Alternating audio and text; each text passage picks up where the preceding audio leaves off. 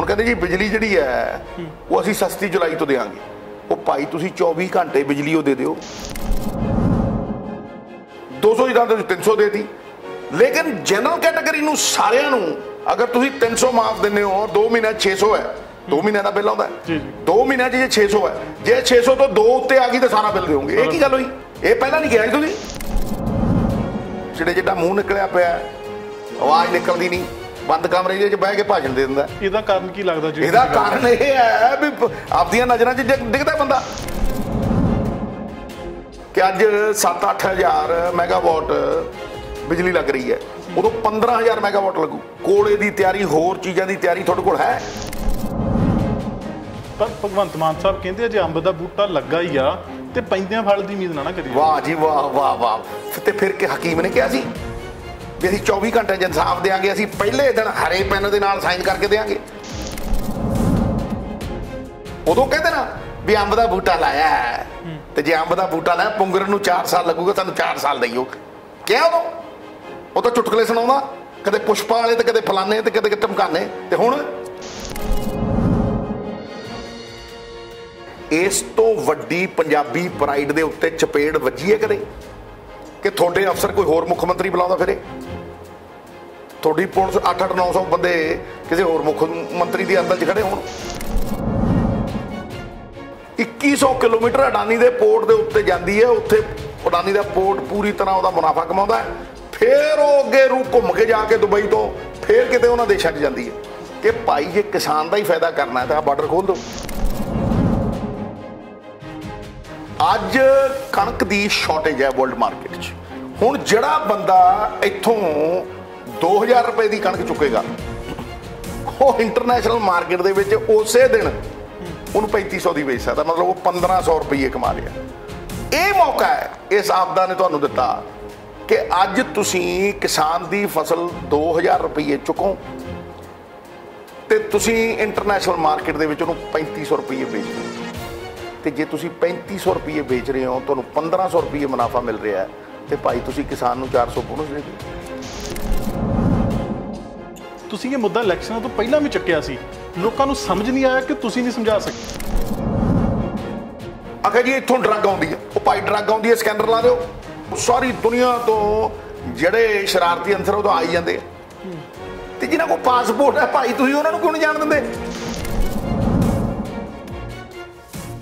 ਭਾਈ, ਹੁਣ ਕਰਤਾਰਪੁਰ ਦਾ ਲਾਂਘਾ ਖੁੱਲਿਆ 70000 ਲੋਕ ਜਾਏ, ਕੀ ਹੋ ਗਿਆ? ਜਾਂ ਤਾਂ ਤੁਸੀਂ ਉਹ ਮਾਰਕੀਟ ਸਾਨੂੰ ਕ੍ਰੀਏਟ ਕਰਕੇ ਦੇ ਦਿਓ। ਜਾਂ ਸਾਨੂੰ ਮੁਸ਼ਾ- ਮੁਨਾਫਾ ਸ਼ੇਅਰ ਕਰ ਦਿਓ।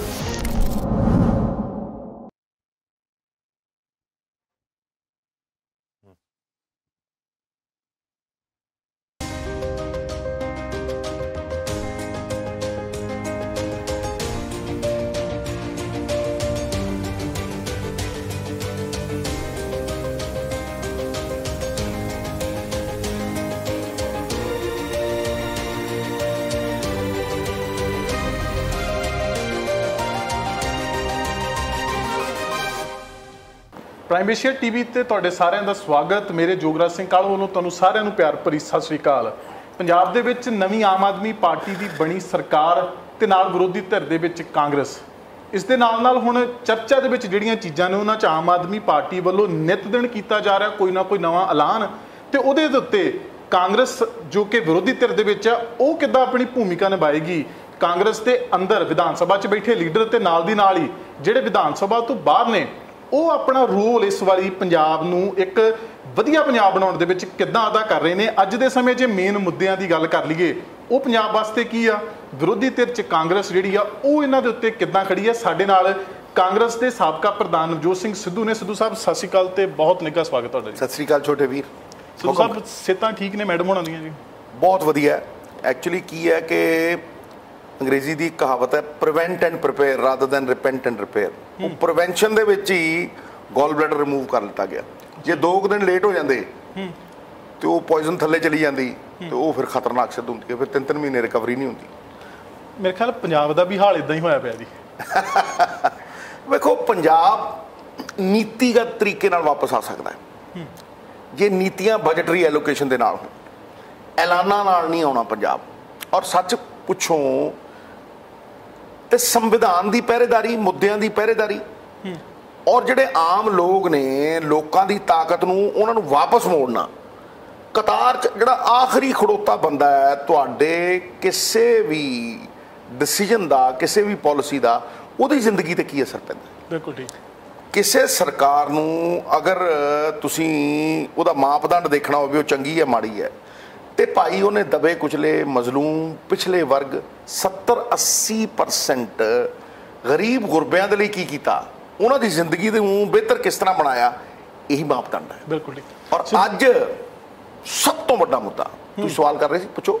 ਮੈਂ ਇਸੇ ਸਭ ਤੋਂ ਵੱਡੇ ਮੁੱਦੇ ਤੇ ਆਉਣ ਲੱਗਾ ਸੀ। ਨੋ ਡਾਊਟ ਪੰਜਾਬ ਦੇ ਵਿੱਚ ਭ੍ਰਿਸ਼ਟਾਚਾਰ ਅਹਿਮ ਮੁੱਦਿਆਂ ਚੋਂ ਇੱਕ ਆ। ਪੰਜਾਬ ਦੇ ਵਿੱਚ ਬੱਚੇ ਜਿਹੜੇ ਬਾਹਰ ਨੂੰ ਦੌੜੀ ਜਾ ਰਹੇ ਉਹ ਅਹਿਮ ਮੁੱਦਿਆਂ ਚੋਂ ਇੱਕ ਆ। ਪੰਜਾਬ ਦੇ ਵਿੱਚ ਜੋ ਸਰਕਾਰੀ ਕੰਮਕਾਜ, ਉਹ ਕਿੱਦਾਂ ਚੱਲਦੇ ਨੇ? ਉਹ ਅਹਿਮ ਮੁੱਦਿਆਂ ਚੋਂ ਇੱਕ ਆ, ਹਸਪਤਾਲਾਂ ਦੀ ਹਾਲਾਤ, ਸਕੂਲਾਂ ਦੇ ਹਾਲਾਤ। ਪਰ ਜੇ ਕਰੰਟ ਸਿਚੁਏਸ਼ਨ ਦੀ ਗੱਲ ਕਰ ਲਈਏ, ਜਿਹੜੀ ਚੀਜ਼ ਅੱਜ ਤੋਂ 4 ਮਹੀਨੇ ਬਾਅਦ ਨਹੀਂ ਹੋ ਸਕਦੀ, ਉਹ ਆ ਜਿਹੜੇ ਹੁਣ ਕਿਸਾਨ ਮੰਡੀਆਂ ਦੇ ਵਿੱਚ ਉਹ ਰੁਲਦੇ ਨੇ। ਹੁਣ ਜੇ ਅੱਜ ਦਾ ਸਭ ਤੋਂ ਅਹਿਮ ਮੁੱਦਾ ਹੈ, ਕਿਸਾਨ ਨੂੰ ਲੱਗਦਾ ਹੈ ਕਿ ਮੇਰੀ ਫਸਲ ਜਿਹੜੀ 6 ਮਹੀਨਿਆਂ ਤੋਂ ਮੈਂ ਖਲਾਰੀ ਪਈ ਆ, ਉਹ ਟਾਈਮ ਨਾਲ ਮੰਡੀ 'ਚ ਪਹੁੰਚੇ। ਮੰਡੀ 'ਚ ਜਾ ਕੇ ਟਾਈਮ ਨਾਲ ਬੋਰੀਆਂ 'ਚ ਪਏ, ਚੰਗੇ ਭਾਅ ਦੇ ਨਾਲ, ਕੋਈ ਕਾਟ ਨਾ ਲੱਗੇ ਉਹਨੂੰ। ਤੇ ਭਾਅ ਦੇ ਨਾਲ ਪੈਣ ਤੋਂ ਬਾਅਦ ਮੈਂ ਖਲਾਸੀ ਮੇਰੀ ਛੇਤੀ ਹੋ ਜੇ। ਜਿਹੜੀ ਖਲਾਸੀ ਨਾ ਹੋਣ ਕਰਕੇ ਉਹ ਪੰਜਾਬ ਦੀਆਂ ਮੰਡੀਆਂ 'ਚ ਨਹੀਂ ਪਰ ਕਿ ਪ੍ਰਾਈਵੇਟ ਸੇਲੋਂ 'ਚ ਜਾ ਰਹੇ ਨੇ। ਹੁਣ ਵੇਖੋ। ਇਹਨੂੰ ਕਿੱਦਾਂ ਹੱਲ ਕਰ ਸਕਦੀ ਹੈ ਸਰਕਾਰ? ਤੇ ਤੁਸੀਂ ਦੂਸਰੇ ਬੰਨੇ ਧਿਰ ਦੇ ਵਿੱਚ ਰਹਿ ਕੇ ਇਹਦੇ ਉੱਤੇ ਕਿੱਦਾਂ ਆਪਦਾ ਰੋਲ ਅਦਾ ਕਰ ਸਕਦੇ ਹੋ? ਵੇਖੋ ਉਹ ਕੋਈ ਖੈਰਾਤ ਨਹੀਂ ਮੰਗ ਰਿਹਾ। ਉਹ ਆਪਣਾ ਹੱਕ ਮੰਗ ਰਿਹਾ। ਇੱਜ਼ਤ ਦੀ ਰੋਟੀ ਔਰ ਹਿੱਸੇਦਾਰੀ ਸਰਕਾਰ 'ਚ ਸ਼ੇਅਰ ਹੋਲਡਿੰਗ ਇਹ ਉਹਦਾ ਹੱਕ ਹੈ। ਕਿਸ ਤਰ੍ਹਾਂ? 70% ਆਬਾਦੀ ਅੱਜ ਸਾਡੀ ਖੇਤੀ ਹੈ। ਉਹ ਖੇਤੀ ਜਦੋਂ ਕਣਕ ਬੀਜਦੀ ਹੈ, ਉਹਦੀ ਮਾਰਕੀਟਿੰਗ ਸਭ ਤੋਂ ਵੱਡੀ ਜ਼ਿੰਮੇਵਾਰੀ ਹੈ ਸਰਕਾਰ ਦੀ। ਉਹ ਮਾਰਕੀਟਿੰਗ ਤੋਂ ਮਤਲਬ ਇਹ ਹੈ ਕਿ ਭਾਈ ਰਿਸਕ ਕਿਸਾਨ ਝੇਲਦਾ ਜੇ ਅੱਜ ਕੋਈ ਵੀ ਨੈਚੁਰਲ ਆਪਦਾ ਆਉਂਦੀ ਹੈ, ਮੌਸਮ ਬਦਲਦਾ ਹੈ, ਜਿਸ ਤਰ੍ਹਾਂ ਹੁਣ ਝਾੜ 25% ਘਟ ਗਿਆ। ਗਰਮੀ ਦੇ ਨਾਲ। ਉਹਦਾ ਰਿਸਕ ਕਿਸਾਨ ਝੇਲ ਰਿਹਾ। ਠੀਕ ਹੈ। ਫਿਰ ਬੀਜ ਖਰਾਬ ਆ ਗਿਆ। ਉਹਦਾ ਰਿਸਕ ਕਿਸਾਨ ਝੇਲ ਰਿਹਾ। ਫਿਰ ਤੁਸੀਂ ਡੀਜ਼ਲ 40 ਤੋਂ 100 ਕਰਤਾ। ਉਹ- ਉਹਦਾ ਜਿਹੜਾ ਲਾਗਤ ਦਾ ਉਹ ਹੈ ਉਹ ਕਿਸਾਨ ਝੇਲ ਰਿਹਾ। ਠੀਕ ਹੈ? ਤੁਸੀਂ ਪੈਸਟੀਸਾਈਡ ਔਰ ਫਰਟੀਲਾਈਜ਼ਰ ਦੀ ਕੀਮਤ 200% ਵਧਾਤੀ। ਉਹ ਵੀ ਕਿਸਾਨ ਝੇਲ ਰਿਹਾ। ਤੇ ਫਿਰ ਮੈਨੂੰ ਇੱਕ ਗੱਲ ਦੱਸੋ। ਜਦੋਂ ਉਹ ਹਰ ਰਿਸਕ ਫੈਕਟਰ ਝੇਲ ਰਿਹਾ ਹੈ, ਤੇ ਫਿਰ ਉਹਨੂੰ ਮੁਨਾਫੇ ਦੇ ਵਿੱਚ ਵੱਡਾ ਹਿੱਸਾ ਕਿਉਂ ਨਹੀਂ ਦਿੱਤਾ ਜਾ ਰਿਹਾ? ਇੱਥੋਂ ਭਾਵ ਮੇਰਾ ਕੀ ਹੈ? ਅੱਜ ਕਣਕ ਦੀ ਸ਼ਾਰਟੇਜ ਹੈ ਵਰਲਡ ਮਾਰਕੀਟ 'ਚ। ਬਿਲਕੁਲ ਠੀਕ। ਅੱਜ ਯੂਕਰੇਨ ਔਰ ਰਸ਼ੀਆ ਦੀ ਲੜਾਈ ਕਰਕੇ ਅੱਜ ਸਾਰੀ ਵਰਲਡ ਮਾਰਕੀਟ ਦੇ ਵਿੱਚ 25% ਕਣਕ ਘਟ ਗਈ ਹੈ। ਬਿਲਕੁਲ। ਠੀਕ ਹੈ ਜੀ? ਉਜ਼ਬੇਕਿਸਤਾਨ ਵਗੈਰਾ ਉੱਥੇ ਕਣਕ ਉਗਾ ਹੀ ਨਹੀਂ ਰਹੇ ਹੋ। ਉਹਨਾਂ ਨੇ ਐਕਸਪੋਰਟ ਵੀ ਬੰਦ ਕਰ ਦਿੱਤੇ ਆ ਇਹਨਾਂ ਹਾਲਾਤਾਂ ਦੇ ਵਿੱਚ ਮਾਰਕੀਟ ਇੰਟਰਨੈਸ਼ਨਲ ਜਿਹੜੀ ਹੈਗੀ ਹੈ ਉਹ 4000 ਦੀ ਕਣਕ ਵੇਚ ਰਹੀ ਹੈ 3500 ਦੀ ਕਣਕ ਵੇਚ ਰਹੀ ਹੈ 3300 ਦੀ ਕਣਕ ਵੇਚ ਰਹੀ ਹੈ। ਹੁਣ ਜਿਹੜਾ ਬੰਦਾ ਇੱਥੋਂ 2000 ਰੁਪਏ ਦੀ ਕਣਕ ਚੁੱਕੇਗਾ, ਉਹ ਇੰਟਰਨੈਸ਼ਨਲ ਮਾਰਕੀਟ ਦੇ ਵਿੱਚ ਉਸੇ ਦਿਨ ਉਹਨੂੰ 3500 ਦੀ ਵੇਚ ਸਕਦਾ, ਮਤਲਬ ਉਹ 1500 ਰੁਪਏ ਕਮਾ ਰਿਹਾ। ਤੁਸੀਂ ਕਿਸਾਨ ਦੀ ਜਿਹੜੀ ਐਮਐਸਪੀ ਹੈ, ਉਹ 4 ਸਾਲਾਂ ਦੇ ਵਿੱਚ 170 ਰੁਪਏ ਵਧਾਈ ਹੈ। ਮਤਲਬ 40 ਰੁਪਏ ਹਰ ਸਾਲ। ਇਹ ਮੌਕਾ ਹੈ, ਇਸ ਆਪਦਾ ਨੇ ਤੁਹਾਨੂੰ ਦਿੱਤਾ ਕਿ ਅੱਜ ਤੁਸੀਂ ਕਿਸਾਨ ਦੀ ਫਸਲ 2000 ਰੁਪਏ ਚੁੱਕੋ ਤੇ ਤੁਸੀਂ ਇੰਟਰਨੈਸ਼ਨਲ ਮਾਰਕੀਟ ਦੇ ਵਿੱਚ ਉਹਨੂੰ 3500 ਰੁਪਏ ਵੇਚਦੇ ਹੋ। ਤੇ ਜੇ ਤੁਸੀਂ 3500 ਰੁਪਏ ਵੇਚ ਰਹੇ ਹੋ, ਤੁਹਾਨੂੰ 1500 ਰੁਪਏ ਮੁਨਾਫਾ ਮਿਲ ਰਿਹਾ ਹੈ, ਤੇ ਭਾਈ ਤੁਸੀਂ ਕਿਸਾਨ ਨੂੰ 400 ਬੋਨਸ ਦੇ ਦਿਓ। 1100 ਤੁਸੀਂ ਰੱਖ ਲਓ। ਇਹ ਇਹ ਜਿਹੜੀ ਮਤਲਬ ਰਿਸਕ ਹਰ ਚੀਜ਼ ਉਹ ਚੇਲੇ, ਘਾਟੇ ਉਹ ਚੇਲੇ ਜਿਹੜੀ ਇਨਫਲੇਸ਼ਨ ਮਹਿੰਗਾਈ ਦੀ ਮਾਰ ਉਹ ਚੇਲੇ, ਲਾਗਤ ਦੀ ਮਾਰ ਉਹ ਝੇਲੇ ਤੇ ਜਦੋਂ ਮੁਨਾਫਾ ਕਮਾਣਾ ਸਰਕਾਰ ਨੇ, ਉਦੋਂ ਮੁਨਾਫਾ ਉਹਨੂੰ ਕੋਈ ਦਿੱਤਾ ਨਾ ਜਾਵੇ। ਇਹ ਮੈਨੂੰ ਬੜੀ ਚੁਭਦੀ ਹੈ ਗੱਲ। ਦੇਖੋ, ਤੁਸੀਂ 1% ਬੰਦਿਆਂ ਦੇ ਵਾਸਤੇ ਨੀਤੀਆਂ ਨਹੀਂ ਬਣਾਈਆਂ। ਹੁਣ ਤੁਸੀਂ ਜਿਹੜੇ ਲੋਕ ਸਟੋਰੇਜ ਕਰ ਰਹੇ ਆ ਬੇਟਾ, ਮੈਂ ਨਾਂ ਨਹੀਂ ਲੈਣਾ ਚਾਹਦਾ ਕਿਸੇ ਦਾ, ਤੁਸੀਂ ਅਡਾਨੀ ਸਾਹਿਬ ਦਾ ਨਾਮ ਲੈ ਲਓ, ਠੀਕ ਹੈ? ਜਿੰਨੀ ਐਫਸੀਆਈ ਐਫਸੀਆਈ ਜਾਣ ਕੇ ਮਾਰੀ ਗਈ 4 ਲੱਖ ਕਰੋੜ ਦਾ ਕਰਜ਼ਾ ਚੜਾਤਾ ਉੱਤੇ ਸਾਰੀ ਪ੍ਰੋਕਿਉਰਮੈਂਟ ਜਿਹੜੀ ਕਰਦੀ ਹੈ ਫਸਲ ਚੱਕਦੀ ਹੈ ਜਿਹੜੀ ਗਵਰਨਮੈਂਟ ਆਫ ਇੰਡੀਆ ਐਫਸੀਆਈ ਦੇ ਥਰੂ ਚੁੱਕਦੀ ਹੈ। ਹੁਣ ਉਹਨਾਂ ਨੇ ਕਹਿਦਾ ਵੀ ਭਾਈ ਐਫਸੀਆਈ ਨਹੀਂ ਨਾਨੀ ਸਾਹਿਬ ਦੇ ਗੋਡਾਊਨ ਵੀ ਉੱਥੇ ਜਿਹੜੇ ਸਾਈਲੋ ਵੀ ਹੈ ਉੱਥੇ ਹੀ ਬਣਨਗੇ। ਸਾਰੀ ਜਿਹੜੀ ਪ੍ਰੋਕਿਉਰਮੈਂਟ ਹੈ ਉਹ ਕਰੇਗਾ। ਹੁਣ ਉਹ 200 ਰੁਪਏ ਵੱਧ ਦੇ ਰਿਹਾ ਪ੍ਰਾਈਵੇਟ ਪਲੇਅਰ ਹੈ 200 ਰੁਪਏ ਵੱਧ ਦੇ ਰਿਹਾ ਉਹਦੇ 200 ਰੁਪਏ ਵੱਧ ਮਿਲਣ ਦੇ ਉੱਤੇ ਹੀ ਫਟਾਕ ਦੇ ਨੇ ਕਿਸਾਨ ਜਾ ਕੇ ਉਹਦੇ ਕੋਲ ਖੜ ਗਿਆ। ਇੱਕ ਚੀਜ਼ ਹੋਰ ਨਾਲ ਕਰ ਰਹੇ ਆ। ਜਾਂਦਿਆਂ ਨੂੰ ਚਾਹ ਤੇ ਨਾਲ ਕੋਕਾ ਕੋਲਾ ਚਾਹ ਕੋਕਾ ਕੋਲਾ ਨਾਲ ਦੀ ਨਾਲ ਟੱਕ ਦੇ ਅੰਦਰ। ਹੁਣ ਤੁਸੀਂ ਮੈਨੂੰ ਦੱਸੋ, ਇਹ ਇੰਨੇ ਕਰਨ ਦੇ ਨਾਲ ਉਹ ਕਿਸਾਨ ਤੋਂ 200 ਰੁਪਏ ਵੱਧ ਲੈ ਕੇ ਉਹ ਉਸੇ ਦਿਨ ਉਹ 1400 ਰੁਪਏ ਵਟ ਰਿਹਾ ਇੰਟਰਨੈਸ਼ਨਲ ਮਾਰਕੀਟ ਦੇ ਵਿੱਚ। ਕਾਦੇ ਲਈ? ਕਿਉਂਕਿ ਉਹਦੇ ਕੋਲ ਸਰਕਾਰ ਨੇ ਸਟੋਰੇਜ ਫੈਸਿਲਿਟੀ ਦਿੱਤੀ। ਜੇ ਇਹੀ ਸਰਕਾਰ ਡਾਇਰੈਕਟ ਦੇਵੇ ਤੁਸੀਂ ਕਿਸਾਨ ਨੂੰ, ਅਮਰੀਕਾ 'ਚ ਹੈ। ਕੈਨੇਡਾ 'ਚ ਹੈ ਸਾਰੀ ਵਰਲਡ ਮਾਰਕੀਟ ਦੇ ਵਿੱਚ ਹੈ। ਪਰ ਕਿੱਦਾਂ ਸਟੋਰ ਕਰ ਸਕਦੇ ਕਿਸਾਨ ਭਾਈ ਕਿਉਂ? ਆ ਹੁਣ ਇੱਥੇ ਜਿਹੜੀ ਸਾਡੀ ਉਹ ਹੈ ਵੇਅਰ ਹਾਊਸਿੰਗ ਕਾਰਪੋਰੇਸ਼ਨ ਹੈ। ਵੇਅਰ ਹਾਊਸਿੰਗ ਕਾਰਪੋਰੇਸ਼ਨ ਦੇ ਸਾਈਲੋਜ਼ ਨੇ। ਵੇਅਰ ਹਾਊਸਿੰਗ ਕਾਰਪੋਰੇਸ਼ਨ ਦੀ ਕਿੰਨੀ ਸਟੋਰੇਜ ਰੱਖੋ ਉੱਥੇ। ਰੱਖਣ ਦਿਓ ਉਹਨੂੰ। ਤੁਸੀਂ ਉਹ ਮੁਨਾਫਾ ਕਿਸਾਨ ਨੂੰ ਦਿਓ। ਭਾਈ ਕਿਸਾਨ ਜਦੋਂ ਮੰਡੀ 'ਚ ਜਾਂਦਾ ਭਾਵੇਂ ਸਬਜ਼ੀ ਮੰਡੀ 'ਚ ਵੀ ਜਾਂਦਾ ਹੈ, ਉਹਦਾ 5 ਰੁਪਏ ਦਾ ਟਮਾਟਰ ਜਿਹੜਾ ਹੈ ਉਹ ਪਤਾ ਨਹੀਂ ਕਿੰਨੇ ਦਾ ਵਿਕਦਾ ਅੱਗੇ। 5 ਰੁਪਏ ਟਮਾਟਰ ਉਹ ਦੇ ਕੇ ਆਉਂਦਾ ਕਿਉਂਕਿ ਉਹ ਗਲ ਜਾਂਦਾ ਹੈ। ਉਹਦੇ ਕੋਲ ਸਟੋਰੇਜ ਫੈਸਿਲਿਟੀ ਨਹੀਂ ਉਹ ਪੈਰੀਸ਼ੇਬਲ ਕਮੋਡਿਟੀ ਹੈ।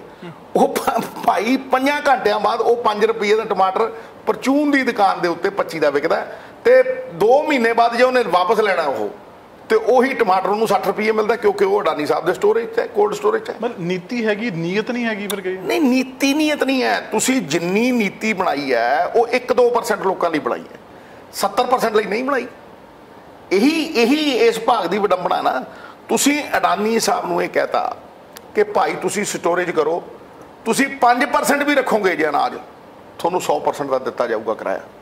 ਦੇਖੋ ਮੈਕਸਿਮਮ ਸਪੋਰਟ ਪ੍ਰਾਈਸ ਹੈ। ਜੇ ਮੈਂ ਮਤਲਬ ਕਣਕ ਅਡਾਨੀ ਦੇ ਗਡਾਊਨ 'ਚ ਰੱਖਤੀ ਠੀਕ ਹੈ? ਉਹਦਾ ਗਡਾਊਨ 10% ਭਰਿਆ। ਜੀ। ਜਾਂ ਉਹਦਾ ਸਾਈਲੋ 10% ਭਰਿਆ। ਤੇ ਉਹਨੂੰ ਕਿਰਾਇਆ 100 ਦਾ ਦਿੱਤਾ ਜਾਏਗਾ। ਅੱਗੇ ਉਹ ਜਿਹੜੀ ਕਣਕ ਹੈ, ਉਸ ਕਣਕ ਨੂੰ ਉਹ 50 ਗੁਣਾ ਵੇਚ ਸਕਦਾ। ਤੁਸੀਂ ਸੋਚੋ ਤਾਂ ਸਹੀ, ਮਤਲਬ ਮੋਤੀ ਚੂਰ ਦੇ ਲੱਡੂ ਦੋਹੇ ਹੱਥਾਂ ਦੇ ਵਿੱਚ ਤੇ ਸਿਰ ਤੇਲ ਦੀ ਕੜਾਈ ਦੇ ਵਿੱਚ। ਹਰ ਚੀਜ਼ ਉਹਨੂੰ ਦੇਤੀ ਇੱਕ ਬੰਦੇ ਨੂੰ। ਤੇ ਤੁਸੀਂ ਜੇ ਇਹੀ ਕਹੋ ਕਿ ਭਾਈ ਜੇ ਕਿਸਾਨ ਦਾ ਹੀ ਫਾਇਦਾ ਕਰਨਾ ਹੈ ਤਾਂ ਆ ਬਾਰਡਰ ਖੋਲ ਦਿਓ।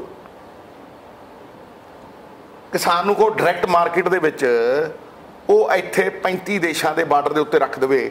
ਤੇ ਮੈਨੂੰ ਇੱਕ ਗੱਲ ਦੱਸੋ ਉਹਦੀ ਜਿਹੜੀ 2000 ਦੀ ਕਣਕ ਹੈ ਉਹ 3500 ਨੂੰ ਵਿਕੂਗੀ ਸਿੱਧੀ 1500 ਰੁਪਏ ਉਹਦੀ ਜੇਬ 'ਚ। ਤੇ ਭਾਈ ਜੇ ਉਹ 5 ਰੁਪਏ ਦੇ ਮਟਰ ਨੇ ਉਹ 50 ਦੇ ਵਿਕਦੇ। ਕੜਾਕਦੇ ਨੇ। ਜੇ ਉਹਦਾ 25 ਰੁਪਏ ਦਾ ਅਦਰਕ ਆ ਉਹ 150 ਨੂੰ ਵਿਕੂ। ਸਿੱਧੂ ਸਾਹਿਬ ਤੁਸੀਂ 55 ਰੁਪਏ ਦਾ ਦੁੱਧ। ਅੱਜ ਤੁਸੀਂ ਇੱਥੇ ਰੱਖੋ ਬਾਰਡਰ ਦੇ ਉੱਤੇ ਖੜਾਕਦੇ ਨੇ 150 ਰੁਪਏ। ਇਹ ਭਾਈ ਮੈਨੂੰ ਇੱਕ ਗੱਲ ਦੱਸੋ। ਉਹ ਕਿਉਂ ਨਹੀਂ? ਤੁਸੀਂ ਇਹ ਮੁੱਦਾ ਇਲੈਕਸ਼ਨਾਂ ਤੋਂ ਪਹਿਲਾਂ ਵੀ ਚੱਕਿਆ ਸੀ। ਲੋਕਾਂ ਨੂੰ ਸਮਝ ਨਹੀਂ ਆਇਆ ਕਿ ਤੁਸੀਂ ਨਹੀਂ ਸਮਝਾ ਸਕੇ। ਮੈਂ ਕਹਿੰਦਾ ਮੈਂ ਸਮਝਾ ਸਕਿਆ। ਪਰ ਸਵਾਲ ਇਹ ਹੈ ਕਿ ਸਾਡਾ ਤਾਂ ਮੈਨੀਫੈਸਟੋ ਹੀ ਲਾਸਟ ਦਿਨ ਨੂੰ ਅਖੀਰਲੇ ਦਿਨ। ਅਖੀਰਲੇ ਦਿਨ ਉਹ ਹੋਇਆ। ਜਨਤਕ ਹੋਇਆ। ਵੇਖੋ ਮੇਰੀ ਇੱਕ ਗੱਲ ਨੂੰ ਸਮਝੋ ਮੈਂ ਨੀਤੀਆਂ ਲਿਆ ਸਕਦਾ ਲੇਕਿਨ ਉਹਦੇ ਪਾਰਟੀ ਨੇ ਤੈਅ ਕਰਨਾ ਨਾ ਵੀ ਚਿਹਰਾ ਕੌਣ ਹੋਊਗਾ ਤੇ ਉਹਨੂੰ ਅੱਗੇ ਕੌਣ ਲਿਜਾਊਗਾ। ਇੱਥੇ ਆ ਕੇ ਗੱਲ ਘੁੰਮਦੀ ਸਿੱਧੂ ਸਾਹਿਬ ਤੁਸੀਂ ਨੀਤੀਆਂ ਲੈ ਕੇ ਆਉਂਦੇ ਹੋ। ਪਰ ਨੀਤੀਆਂ ਨੂੰ ਲੋਕਾਂ ਤੱਕ ਪਹੁੰਚਾਉਣ ਲਈ ਸਰਕਾਰ ਦੇ ਰੂਪ ਚ ਤੁਹਾਨੂੰ ਆਉਣਾ ਪੈਣਾ ਆ ਤੇ ਫਿਰ ਆ ਕੇ ਨੀਤੀਆਂ ਜਿਹੜੀਆਂ ਇੰਪਲੀਮੈਂਟ ਕਰਨੀਆਂ ਪੈਣੀਆਂ। ਹੁਣ ਗੱਲ ਸਾਰੀ ਰੁਕਦੀ ਆ ਵੀ ਤੁਸੀਂ ਸਰਕਾਰ ਦੇ ਰੂਪ ਚ ਕਿੱਦਾਂ ਆਓਗੇ? ਦੇਖੋ ਸਰਕਾਰ ਦੇ ਰੂਪ ਚ ਜਿਹੜੇ ਹਨ ਹਾਂ। ਉਹਨਾਂ ਦੇ ਨੱਕ ਥੱਲੇ ਆ ਚੱਲੀ ਜਾਂਦਾ ਤੇ ਉਹ ਅਨਾਉਂਸਮੈਂਟਾਂ ਕੁਝ ਹੋਰ ਕਰੀ ਤੁਰੀ ਜਾਂਦੇ। ਮੈਨੂੰ ਇੱਕ ਗੱਲ ਦੱਸੋ ਨਾ ਅੱਜ ਉਹਨਾਂ ਦੇ ਨੱਕ ਥੱਲੇ ਹੋ ਰਿਹਾ 3500 ਨੂੰ ਕਣਕ ਇੰਟਰਨੈਸ਼ਨਲ ਮਾਰਕੀਟ 'ਚ ਵਿਕਦੀ ਹੈ। ਉਹ ਦੇਣ ਬੋਨਸ ਕਹੇ ਭਗਵੰਤ ਵੀ ਭਾਈ ਅਸੀਂ 3500 ਦੀ ਇੰਟਰਨੈਸ਼ਨਲ ਮਾਰਕੀਟ ਦੇ ਵਿੱਚ ਵਿਕਦੀ ਹੈ। ਅਸੀਂ 300 ਰੁਪਏ ਕਿਸਾਨਾਂ ਨੂੰ ਹੁਣ ਹਰਿਆਣੇ ਦੇ ਵਿੱਚ ਇਜਿਪਟ ਦੇ ਨਾਲ ਇੱਕ ਕੰਟਰੈਕਟ ਹੋਇਆ ਸਿੱਧਾ। ਔਰ ਇਹ ਵੱਡੇ ਵੱਡੇ ਦੇਸ਼ ਜਿੰਨੇ ਨੇ ਇਜਿਪਟ ਹੋ ਗਿਆ ਸੈਂਟਰਲ ਏਸ਼ੀਆ ਹੋ ਗਿਆ ਇਹ ਸਾਰੇ ਉਜ਼ਬੇਕਿਸਤਾਨ ਕਜ਼ਾਕਿਸਤਾਨ ਟਰਕੀ ਇਹਨਾਂ ਦੇ ਵਿੱਚ ਸ਼ਾਰਟੇਜ ਹੈ ਬਹੁਤ ਕਣਕ ਦੀ। ਉਹ 18000 ਟਨ ਦਾ ਇਹਨਾਂ ਨੇ ਉਹ ਕਰ ਲਿਆ ਕੰਟਰੈਕਟ ਤੇ ਹਰਿਆਣੇ ਨੇ ਕਹਿਤਾ ਵੀ ਤੁਸੀਂ ਅਡਾਨੀ ਦੇ ਸਾਈਲੋ ਦੇ ਵਿੱਚ ਡਾਇਰੈਕਟ ਮਾਰੋ। ਕਣਕ ਸੱਟੋ ਤੇ ਸਿੱਧੀ ਉੱਥੇ ਜਿਪਟ ਭੇਜ ਦਿਓ। ਉਹ ਭਾਈ, ਜੇ ਤੁਸੀਂ ਕਿਸਾਨ ਤੋਂ 2000 ਦੀ ਲੈ ਰਹੇ ਹੋ ਤੇ ਉੱਥੇ ਉਹ 3500 ਵੇਚ ਰਿਹਾ ਹੈ। ਰੌਲਾ ਰੌਲਾ ਪੈ ਗਿਆ, ਹਾਹਾਕਾਰ ਮਚ ਗਿਆ ਉਹਨਾਂ ਨੂੰ, ਉਹ ਫਿਰ ਉਹ ਵਾਪਸ ਲੈਣਾ ਪਿਆ ਕੰਟਰੈਕਟ ਤੁਸੀਂ ਡਾਇਰੈਕਟ ਇੱਕ ਬੰਦੇ ਦਾ ਕੰਟਰੈਕਟ ਵਿਦੇਸ਼ਾਂ ਦੇ ਵਿੱਚ ਕਰਾ ਰਹੇ ਹੋ 3500 ਦਾ ਤੇ ਇੱਥੋਂ ਚੁੱਕ ਰਹੇ ਹੋ 2000 2000 ਦਾ ਤੇ ਭਾਈ, ਤੁਸੀਂ ਸਿੱਧਾ ਹੀ ਕਹਿ ਦਿਓ ਕਿ ਭਾਈ, ਅਸੀਂ 400 ਰੁਪਏ ਕਿਸਾਨ ਨੂੰ ਦੇਾਂਗੇ ਤੇ ਬਾਕੀ 1100 ਤੂੰ ਕਮਾ ਲਾ ਭਾਈ। ਬਿਲਕੁਲ ਠੀਕ ਜਦੋਂ ਪੈਟਰੋਲ ਨੂੰ ਤੁਸੀਂ ਚੁੱਕਦੇ ਹੋ ਤਾੜ ਦੇਣੇ ਠੀਕ ਹੈ ਤੇ ਉਹ ਉਹਦਾ ਬੋਝ ਕਿਸਾਨ ਸਹਿੰਦਾ ਹੈ।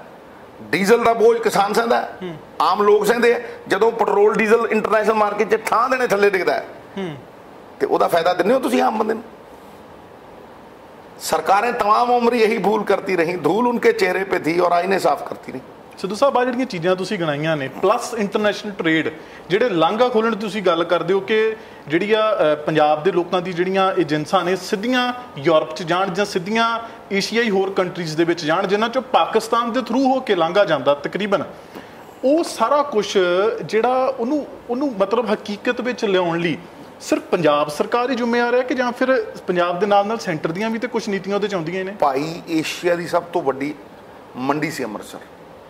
ਇਹ ਕੱਲਾ ਇਹ ਨਹੀਂ ਹੈ ਵੀ ਪੰਜਾਬ ਦਾ ਭਲਾ ਹੋਊਗਾ ਅਸੀਂ 6 ਮਹੀਨਿਆਂ 'ਚ 60 ਸਾਲ ਦੀ ਤਰੱਕੀ ਕਰਾਂਗੇ। ਲੇਕਿਨ ਹਿੰਦੁਸਤਾਨ ਵੀ ਚੱਕਿਆ ਜਾਊ ਠਾਣ ਨੇ ਇੰਨਾ ਟ੍ਰੇਡ ਦਾ ਸਕੋਪ ਹੈ 6 ਮਹੀਨਿਆਂ 'ਚ 60 ਸਾਲ ਦੀ ਤਰੱਕੀ ਹੈ। 35 ਦੇਸ਼ਾਂ ਨੂੰ ਕਨੈਕਟ ਹੁੰਦਾ ਤੁਸੀਂ ਪਾਕਿਸਤਾਨ ਛੱਡ ਦਿਓ। ਇੱਧਰ ਉਜ਼ਬੇਕਿਸਤਾਨ ਕਜ਼ਾਕਿਸਤਾਨ ਹੋਰ ਛੱਡੋ। ਤੁਸੀਂ ਇਹ ਰੂਟ ਨੂੰ ਛੱਡ ਦਿਓ ਤੁਸੀਂ ਬਾਈ 에ਅਰ ਭੇਜੋ ਭਾਈ ਤੁਸੀਂ ਪਹਿਲਾਂ ਸਾਡੀ ਫਲਾਈਟ ਜਾਂਦੀ ਸੀ ਪਹਿਲਾਂ ਬਰਮਿੰਗਮ ਨੂੰ। ਤੇ ਫਿਰ ਅੱਗੇ ਟੋਰਾਂਟੋ ਨੂੰ ਜਾਂਦੀ ਸੀ। ਇੰਗਲੈਂਡ ਤੇ ਫਿਰ ਕੈਨੇਡਾ। ਉੱਥੇ ਸਾਡੀ ਗੋਭੀ ਵਿਕਦੀ ਸੀ। ਅੱਜ ਉਹ ਬਰਸਲ ਸਪਰਾਊਟ ਖਾਂਦੇ ਆ। ਕਿਉਂ? ਕਿਉਂਕਿ ਇਹਨਾਂ ਨੂੰ ਦਿੱਲੀ ਵੱਲ ਨੂੰ ਮੋੜਤਾ ਜਹਾਜ਼ ਉਹ ਵਾਇਬਲ ਨਹੀਂ ਰਿਹਾ। ਉਹ ਰੂਟ ਕੈਨਸਲ ਕਰਨੇ ਪਏ। 90% ਪ੍ਰੋਫਿਟ ਕਮਾਉਂਦੇ ਸੀ। ਪਹਿਲਾਂ ਬਲਕ ਬੁਖਾਰੇ ਜਾਂਦੇ ਹੁੰਦੇ ਸੀ ਹੁਸ਼ਿਆਰਪੁਰੀਏ ਘੋੜਿਆਂ ਤੇ ਚੜ ਕੇ। ਤੋ ਕਹਿੰਦੇ ਜੋ ਸੁਖ ਛੱਜੂ ਦੇ ਚਬਾਰੇ ਨਾ ਬਲਕ ਨਾ ਬੁਖਾਰੇ। ਮੇਰਾ ਫਾਦਰ ਇੱਥੋਂ ਉਸਮਾਨੀਆ ਕਾਲਜ ਜਾਂਦਾ ਹੁੰਦਾ ਟਾਂ ਦੇਣੇ ਸ਼- ਸ਼ਾਮ ਨੂੰ ਵਾਪਸ ਆ ਜਾਂਦਾ। ਤੇ ਅੱਜ ਅਡਾਨੀ ਦੇ ਪੋਰਟ ਦੇ ਉੱਤੇ ਹੁਣ ਤੁਸੀਂ ਅੰਦਾਜ਼ਾ ਲਾਏ ਅਡਾਨੀ ਦੇ ਪੋਰਟ ਦੇ ਉੱਤੇ ਇੱਥੋਂ ਸਾਡੀ ਕਣਕ 2100 ਕਿਲੋਮੀਟਰ ਦੂਰ ਜਾਂਦੀ ਹੈ। 2100 ਕਿਲੋਮੀਟਰ ਅਡਾਨੀ ਦੇ ਪੋਰਟ ਦੇ ਉੱਤੇ ਜਾਂਦੀ ਹੈ ਉੱਥੇ ਅਡਾਨੀ ਦਾ ਪੋਰਟ ਪੂਰੀ ਤਰ੍ਹਾਂ ਉਹਦਾ ਮੁਨਾਫਾ ਕਮਾਉਂਦਾ ਹੈ। ਫਿਰ ਉਹ ਅੱਗੇ ਰੂ ਘੁੰਮ ਕੇ ਜਾ ਕੇ ਦੁਬਈ ਤੋਂ ਫਿਰ ਕਿਤੇ ਉਹਨਾਂ ਦੇਸ਼ਾਂ 'ਚ ਜਾਂਦੀ ਹੈ। ਤੇ ਭਾਈ 2100 ਕਿਲੋਮੀਟਰ ਕਿਉਂ ਜਾਵੇ? 22 ਕਿਲੋਮੀਟਰ ਕਿਉਂ ਨਾ ਜਾਵੇ? ਸਿੱਧੀ ਤਾੜ ਦੇਣੇ। ਇਹ ਤੇ ਮਾਰਨ ਵਾਲੀ ਗੱਲ ਹੈ ਨਾ। ਜਿਹੜੀ ਚੀਜ਼ 22 ਕਿਲੋਮੀਟਰ ਦੂਰ ਜਾਣੀ ਹੈ ਤੇ ਤੁਹਾਨੂੰ ਉਹਦਾ 2000 ਦੀ ਕਣਕ ਦਾ 3500 ਮਿਲਣਾ ਹੈ। 3000 ਦੀ ਜੀਰੀ ਦਾ 7000 ਰੁਪਇਆ ਮਿਲਣਾ ਹੈ। 25 ਰੁਪਏ ਦੇ ਅਦਰਕ ਦਾ 150 ਰੁਪਇਆ ਮਿਲਣਾ ਹੈ। 5 ਰੁਪਏ ਦੇ ਮਟਰ ਦਾ 50 ਮਿਲਣਾ ਹੈ। ਤੁਸੀਂ ਮੈਨੂੰ ਦੱਸੋ ਇਹ ਇਹ ਕਿੱਥੇ ਦਾ ਇਨਸਾਫ ਹੈ ਪਰ ਇੱਕ ਪਾਸੇ ਸਾਰਾ ਕੁਝ ਪ੍ਰਾਈਵੇਟਾਈਜ਼ ਹੋ ਰਿਹਾ ਤੁਸੀਂ ਉਹਦੇ ਉਸ ਦੌਰ 'ਚ ਕਿੱਦਾਂ ਅਸੀਂ ਐਕਸਪੈਕਟ ਕਰ ਸਕਦੇ ਹਾਂ ਕਿ ਮੈਂ ਕਿਹਾ- ਗਵਰਨਮੈਂਟ ਇਸ ਚੀਜ਼ ਨੂੰ ਮੈਂ ਆਪਣੇ ਕਿਹਾ 'ਚ ਲੈ ਪ੍ਰਾਈਵੇਟਾਈਜ਼ ਦੀ ਗੱਲ ਛੱਡੋ ਤੁਸੀਂ। ਪ੍ਰਾਈਵੇਟ ਇੱਕ ਬੰਦੇ ਨੂੰ ਫਾਇਦਾ ਦੇ ਰਹੇ ਹੋ। ਇੱਥੇ ਤੁਸੀਂ ਸਮਾਲ ਟ੍ਰੇਡਰ ਨੂੰ ਫਾਇਦਾ ਦਿਓ। ਜਿਹੜਾ ਛੋਟਾ ਵਪਾਰੀ ਹੈ ਇੱਕ ਅਡਾਨੀ ਨੂੰ ਫਾਇਦਾ ਦੇਣਾ ਹੈ ਕਿ ਜਿਹੜੇ ਛੋਟੇ ਛੋਟੇ ਵਪਾਰੀ ਨੇ ਉਹ ਜੇ ਹਜ਼ਾਰ ਵਪਾਰੀ ਇੱਥੋਂ ਕਣਕ ਚੁੱਕਣ ਤੇ ਉੱਥੇ ਰੱਖਣ ਇੱਥੋਂ ਮਟਰ ਚੁੱਕਣ ਤੇ ਉੱਥੇ ਰੱਖਣ ਇੱਥੋਂ ਟਮਾਟਰ ਚੁੱਕਣ ਤੇ ਇੱਥੇ ਰੱਖਣ ਜਿਪਸਮ ਚੁੱਕਣ ਉੱਥੇ ਰੱਖਣ ਭਾਈ ਆਖੇ ਜੀ ਇੱਥੋਂ ਡਰੱਗ ਆਉਂਦੀ ਹੈ। ਉਹ ਭਾਈ ਡਰੱਗ ਆਉਂਦੀ ਹੈ ਸਕੈਨਰ ਲਾ ਦਿਓ।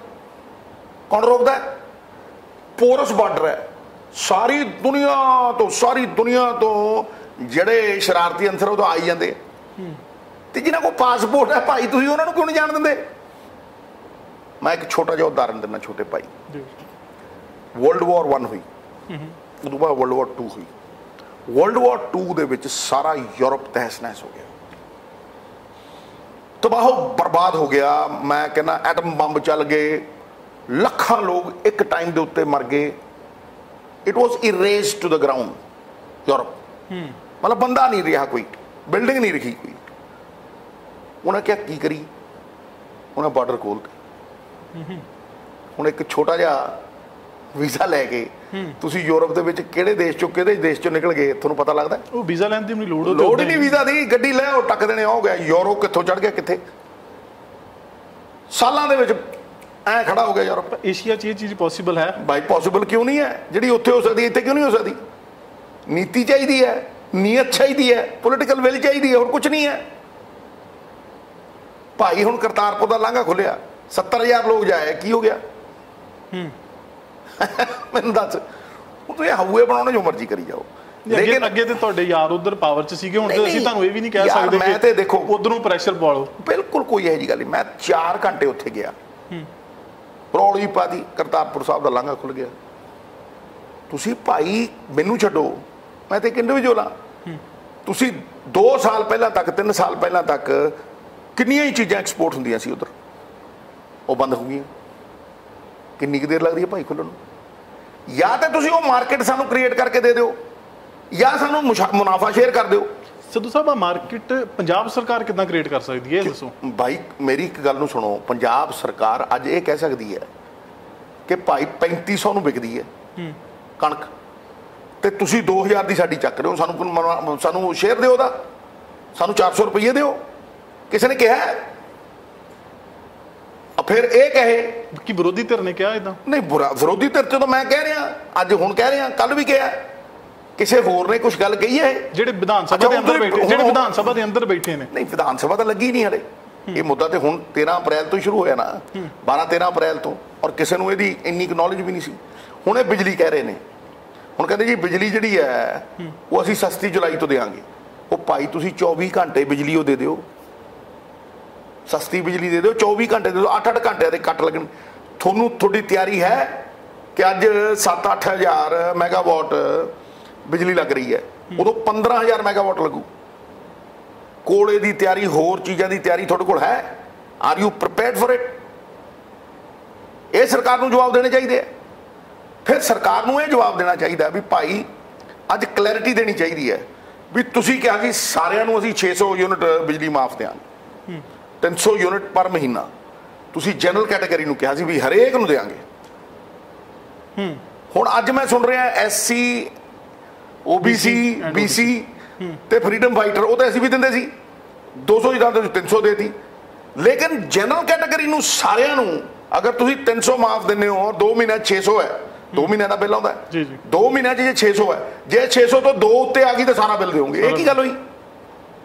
ਇਹ ਪਹਿਲਾਂ ਨਹੀਂ ਕਿਹਾ ਤੁਸੀਂ। ਇਹਦੀ ਕਲੈਰਿਟੀ ਦੇਣੀ ਚਾਹੀਦੀ ਹੈ। ਜੇ ਤੁਸੀਂ ਇਹ ਕਰੋਗੇ ਤੇ ਲੋਕਾਂ ਦਾ ਮੂਰਖ ਬਣਾਓਗੇ। ਪੱਲੇ ਨੂੰ ਢੇਲਾ ਕਰਦੀ ਮੇਲਾ ਮੇਲਾ। ਪੀਐਸਪੀਸੀਐਲ ਕਿਵੇਂ ਦੇ ਦੂ? ਇਹ ਜੁਲਾਈ 'ਚ ਕਿਉਂ ਗਿਆ? ਭਾਈ 22 ਹਜ਼ਾਰ ਕਰੋੜ ਦੀ ਸਰਕਾਰ ਤੋਂ ਲੈਣਦਾਰੀ ਹੈ 17000 ਕਰੋੜ ਰੁਪਏ ਕਰਜ਼ਾ ਲਿੱਤਾ ਹੋਇਆ। ਬੋਰਡ ਬੈਠ ਜੂ। ਪੰਜਾਬ ਰਾਜ ਬਿਜਲੀ ਬੋਰਡ ਬੈਠ ਜੂ। ਸੋ ਤੁਹਾਨੂੰ ਇਹ ਕਲੈਰਿਟੀ ਦੇਣੀ ਪਊਗੀ ਕਿ ਜੋ ਤੁਸੀਂ ਬੋਲਦੇ ਹੋ ਮੂੰਹ ਤੋਂ ਕੱਢਦੇ ਹੋ ਜ਼ਬਾਨ ਚੋਂ ਕੱਢਦੇ ਹੋ।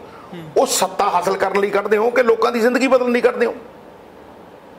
ਮੈਨੂੰ ਲੱਗਦਾ ਸਿਰਫ ਸੱਤਾ ਹਾਸਲ ਕਰਨ ਦੇ ਲਈ ਜੋ ਮਰਜ਼ੀ ਤੁਸੀਂ ਬੋਲੀ ਤੁਰੀ ਜਾਂਦੇ ਹੋ, ਸਮਝੇ ਨਹੀਂ ਮੈਨੂੰ ਇੰਨਾ ਕੀ ਮਹਿਸੂਸ ਹੁੰਦਾ ਕਿ ਇਲੈਕਸ਼ਨ ਕੈਂਪੇਨ ਦਾ ਇੱਕ ਹਿੱਸਾ ਬਣ ਜਾਂਦਾ।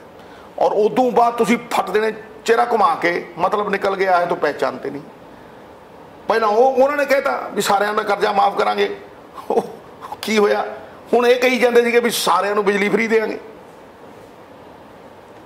Punjab 300 Congress unit. Punjab Congress ਇਸ ਮੁੱਦੇ ਦੇ ਉੱਤੇ ਅਗਲੀ ਕਾਰਵਾਈ ਕੀ ਕਰੂਗੀ? ਭਾਈ ਅਗਲੀ ਕਾਰਵਾਈ ਅਸੀਂ ਦੇਖਾਂਗੇ ਵੀ ਤੁਸੀਂ ਕਿੰਨੀ ਕੁ ਫ੍ਰੀ ਦਿੱਤੀ ਹੋਈ ਹੈ ਇਹ ਇਹ ਤੇ ਇਹ ਤੇ ਤੁਸੀਂ ਕਿਹਾ ਹੀ ਨਹੀਂ ਸੀ ਵੀ ਸਾਰਿਆਂ ਨੂੰ ਨਹੀਂ ਦਵੋਗੇ ਜੇ ਸਾਰਿਆਂ ਨੂੰ ਦਵੋਗੇ ਠੀਕ ਹੈ। ਜੇ ਸਾਰਿਆਂ ਨੂੰ ਨਹੀਂ ਦਵੋਗੇ ਤੇ ਭਾਈ ਲੋਕਾਂ 'ਚ ਰੌਲਾ ਪੈ ਜੂ। ਹਾਕਾਰ ਵਿੱਚ ਜਦੋਂ ਬਿੱਲ ਆਊ ਪਤਾ ਲੱਗ ਜੂ। ਸਮਝੇ ਨਹੀਂ? ਫਿਰ 24 ਘੰਟਿਆਂ 'ਚ ਬਰਗਾੜੀ ਦਾ ਇਨਸਾਫ। ਮੈਂ ਤਾਂ ਕਹਿੰਦਾ ਅਜੇ ਸਰਕਾਰ ਮਹੀਨਾ ਪੁਰਾਣੀ ਹੈ। ਤੁਸੀਂ 4 ਮਹੀਨੇ ਦਿਓ 3 ਮਹੀਨੇ ਦਿਓ 5 ਮਹੀਨੇ ਦਿਓ ਕੋਈ ਰੌਲਾ ਨਹੀਂ ਹੈ। ਸਿੱਧੂ ਸਾਹਿਬ ਬਰਗਾੜੀ ਵਾਲੇ ਮਸਲੇ ਤੇ ਆਉਣਾ ਇੱਕ ਵਾਰੀ ਵਾਪਸ ਬਿਜਲੀ ਵਾਲੇ ਮਸਲੇ ਤੇ। ਤੁਹਾਨੂੰ ਨਹੀਂ ਲੱਗਦਾ ਕਿ ਰੈਦਰ ਦੈਨ ਐਸਸੀ ਬੀਸੀ ਜਾਂ ਓਬੀਸੀ ਨੂੰ ਇਹ ਸਾਰੀ ਜਿਹੜੀ ਸਹੂਲਤ ਦੇਣ ਨਾਲੋਂ ਚੰਗਾ ਇਨਕਮ ਬੇਸਡ ਇਸ ਚੀਜ਼ ਨੂੰ ਰੱਖਿਆ ਜਾਂਦਾ? ਜਨਰਲ ਕੈਟਾਗਰੀ ਵਾਲੇ ਵੀ ਬਹੁਤ ਜਿਹੜੇ ਨੇ ਮੈਂ ਤਾਂ ਉਹ ਇਹ- ਇਨਕਮ ਬੇਸ ਤੋਂ ਘੱਟ ਮੈਂ ਨੇ। ਤੇ ਇਹ ਕਹਿਣਾ ਤੁਸੀਂ ਸਸਤੀ ਬਿਜਲੀ ਦਿਓ ਲੇਕਿਨ 24 ਘੰਟੇ ਦਿਓ। ਲੋਕ ਪੈਸੇ ਦੇਣ ਨੂੰ ਤਿਆਰ ਨੇ। ਸਮਝੋ ਨਹੀਂ? ਹੁਣ ਤੁਸੀਂ ਮੀਟਰਾਂ ਵਾਲੀ ਗੱਲ ਕਰ ਰਹੇ ਹੋ। ਤੁਸੀਂ ਪਤਾ ਨਹੀਂ ਕੀ ਕੀ ਗੱਲਾਂ ਕਿ ਤੁਸੀਂ ਯਾਦ ਦੇ ਲੋਕਾਂ ਨੂੰ ਦੱਸ ਦੇ ਵੀ ਭਾਈ ਆਹ ਅਸੀਂ ਕਰਾਂਗੇ। ਤੇ ਲੋਕ ਫਿਰ ਤੁਹਾਨੂੰ ਵੋਟ ਪਾਉਂਦੇ ਫਿਰ ਮੈਂ ਗੱਲ ਸਮਝਦਾ। ਇਹ ਤੇ ਧੋਖਾਧੜੀ ਹੋ ਗਈ ਨਾ।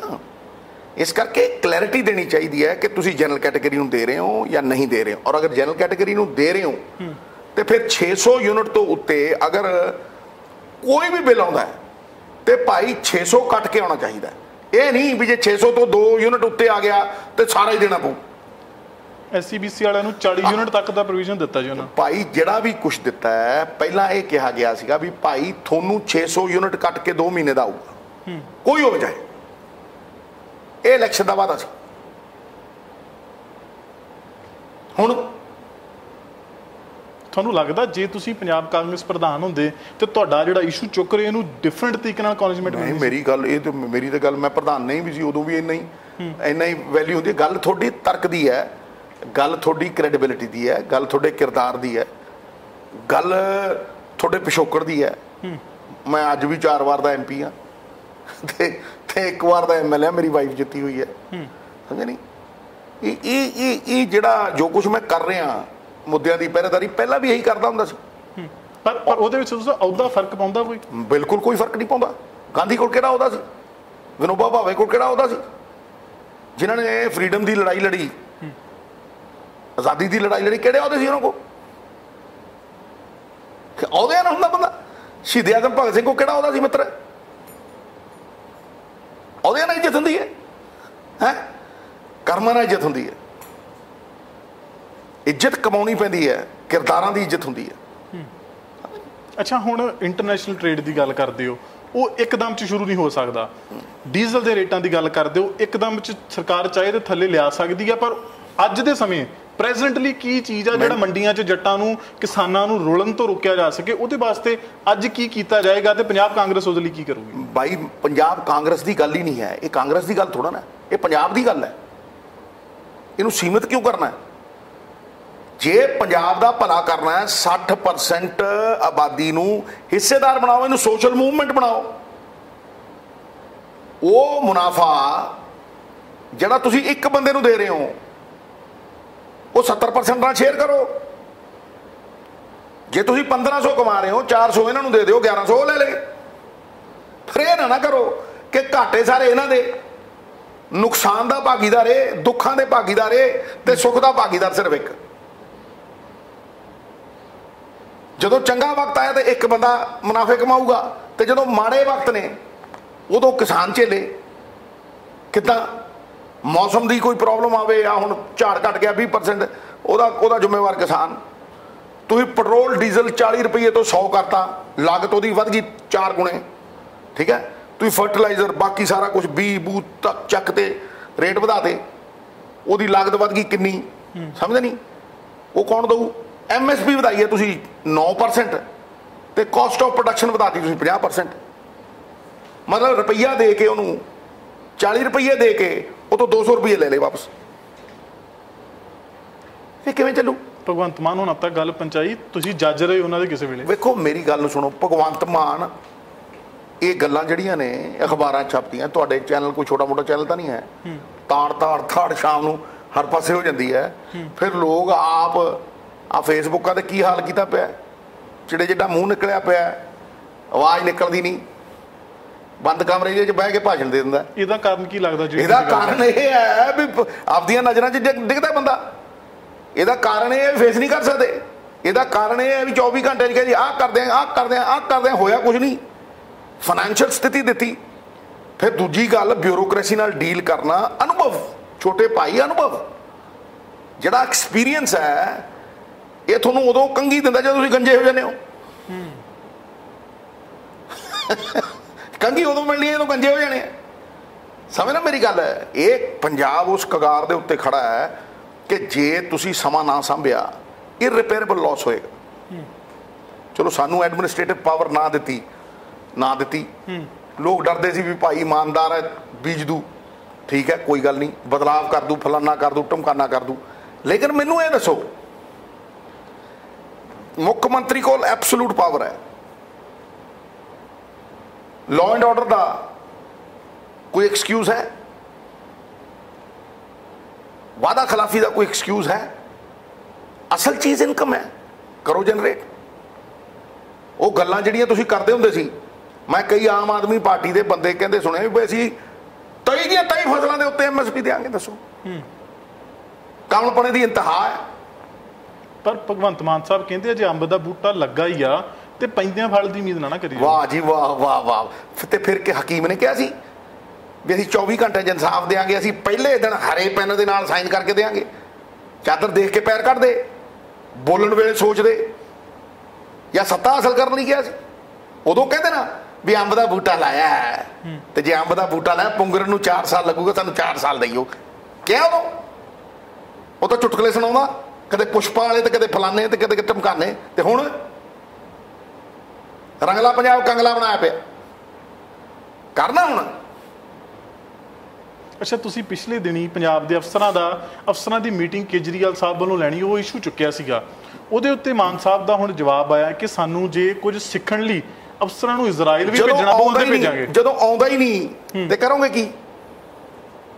ਜੋ ਮਰਜ਼ੀ ਬੋਲੀ ਜਾਓ ਇਸ ਤੋਂ ਵੱਡੀ ਪੰਜਾਬੀ ਪ੍ਰਾਈਡ ਦੇ ਉੱਤੇ ਚਪੇੜ ਵੱਜੀ ਹੈ ਕਦੇ?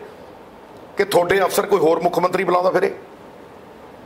ਤੁਹਾਡੀ ਪੁਲਿਸ 8-8 900 ਬੰਦੇ ਕਿਸੇ ਹੋਰ ਮੁੱਖ ਮੰਤਰੀ ਦੀ ਅਰਦਲ 'ਚ ਖੜੇ ਹੋਣ।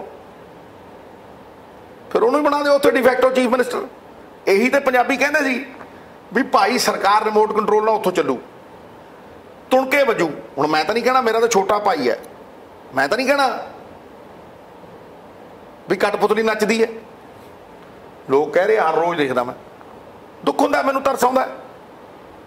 ਕਿਉਂਕਿ ਮੈਂ ਜਾਣਦਾ ਅੱਛਾ ਇਨਸਾਨ ਹੈ ਲੇਕਿਨ ਅੱਛੇ ਇਨਸਾਨ ਨਾਲ ਤਾਂ ਨਹੀਂ ਹੈ। ਇਹ ਤੇ ਭਾਈ ਐਡਮਿਨਿਸਟ੍ਰੇਟਿਵ ਕੰਟਰੋਲ ਦੇ ਲਈ ਤੁਹਾਨੂੰ ਐਕਸਪੀਰੀਅੰਸ ਚਾਹੀਦਾ ਹੈ। ਅਨਾੜੀਆਂ ਦੇ ਹੱਥ ਸਰਕਾਰ।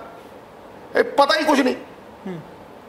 ਸਿੱਧੂ ਮੂਸੇ ਵਾਲੇ ਦੇ ਗਾਣੇ ਦੇ ਉੱਤੇ ਸਾਰੇ ਕਮੈਂਟ ਕਰ ਰਹੇ ਆ। ਤੇ ਜਿਹੜੇ ਪੰਜ ਐਮਪੀ ਬਣਾਏ ਆ ਉਹ। ਜਿਹੜੇ ਪੰਜਾਬ ਦੇ ਮੁੱਦੇ ਆ ਉਹ। ਮੌਨ ਧਾਰਨ ਕਰੀ ਬੈਠੇ ਆ ਐਮਪੀ ਨੂੰ ਇਹ ਨਹੀਂ ਐਮਐਲਏ ਨੂੰ ਇਹ ਨਹੀਂ ਪਤਾ, ਉਹਦੀ ਤਾਕਤ ਕੀ ਹੈ? 2 ਲੱਖ ਬੰਦਿਆਂ ਦਾ ਨੁਮਾਇੰਦਾ ਹੈ, ਚੀਫ ਸੈਕਟਰੀ ਨਾਲੋਂ ਜ਼ਿਆਦਾ ਪਾਵਰ ਹੈ। ਕੱਢੇ ਆਵਾਜ਼। ਤੇ ਉੱਥੋਂ ਚੀਫ ਮਿਨਿਸਟਰ ਆਉਂਦਾ, ਆ ਕੇ ਐ ਲੈਕਚਰ ਦਿੰਦਾ, ਜਿਵੇਂ ਚੌਥੀ ਦੇ ਨਿਆਣੇ ਬੈਠੇ ਹੁੰਦੇ ਅੱਗੇ। ਨਿਕਰਾ ਬਾਈ। ਇਹ ਕੀ ਹੋ ਰਿਹਾ? ਮੁੱਦਿਆਂ ਦੀ ਰਾਜਨੀਤੀ ਦੇ ਵਿੱਚ ਤੁਸੀਂ ਸ਼ੇਅਰ ਹੋਲਡਰ ਬਣਾਓ ਆਮ ਲੋਕਾਂ ਨੂੰ।